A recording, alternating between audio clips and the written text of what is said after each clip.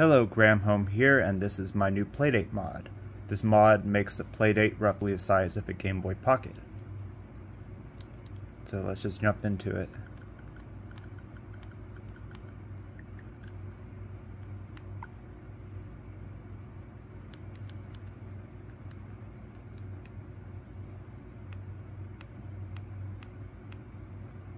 And everything works What's great about this mod is it allows you to customize the playdate with um, custom colors.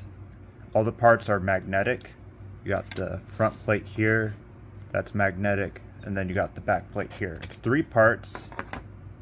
You got the back, the front, and you got a little button right there that pushes on the actual power button on the playdate. So you just snap things together like that.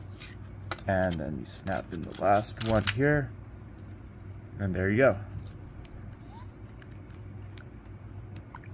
That's pretty much the mod in the nutshell. I did include a step file so you're free to modify to your heart's content. Do whatever you want with the project. But that's pretty much it. This is the whole mod right here.